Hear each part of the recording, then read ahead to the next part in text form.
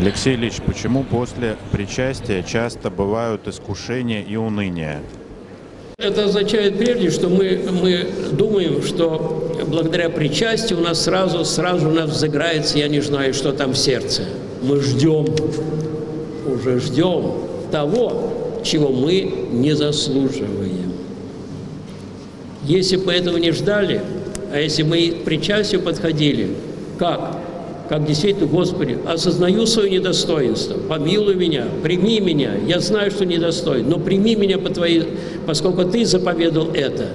Если бы мы ничего не ожидали, то у нас бы не было таких вещей.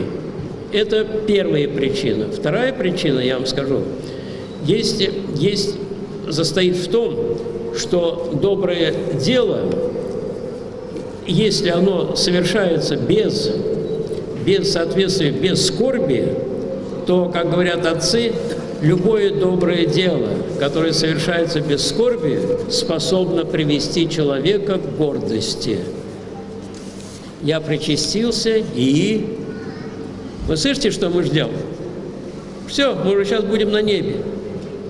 Мы ждем не спасения уже, а рая.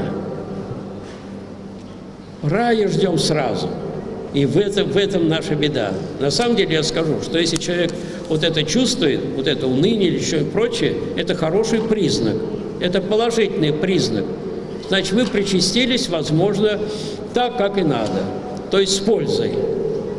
А если будем причащаться и всегда получать, знаете ли, там что-то такое особенное, то есть большая опасность возгордиться даже.